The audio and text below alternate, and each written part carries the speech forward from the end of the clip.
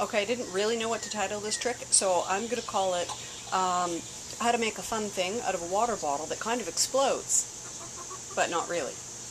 And there's absolutely no purpose to this whatsoever. Just fun. Just a fun thing to do. All you need is a water bottle like this, plastic water bottle, and its accompanying cap. Screw the cap on, then do this.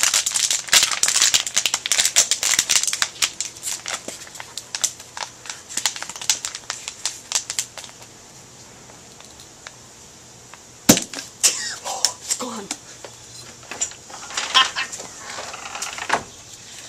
Okay, that went over the fence and onto the other side of the street. So, uh, clearly something that would be a lot of fun at a kid's birthday party, for instance. So I'm going to show you how to do that one more time in a little bit of a slow motion. Sometimes you can use the bottle twice and sometimes you can't. We're going to try, and we, me and, you know, the chickens, uh, are going to try and do it twice. So, you put your uh, cap on the bottle, but you don't want it on really, really tight, just enough so that it's on there. And then just twist. Twist the bottle so that you're locking all the air in here. And since they now seem to make water bottles out of a glorified version of saran wrap, it's pretty easy to twist. So that's it. Twist it like so. And then taking your thumb, you're just going to hit the cap. Here we go.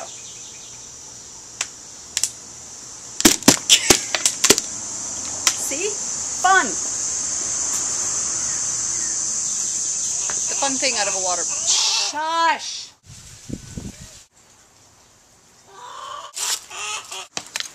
The fun thing out of a water bottle that kind of tried to shut the chickens up. That went really well. Ow!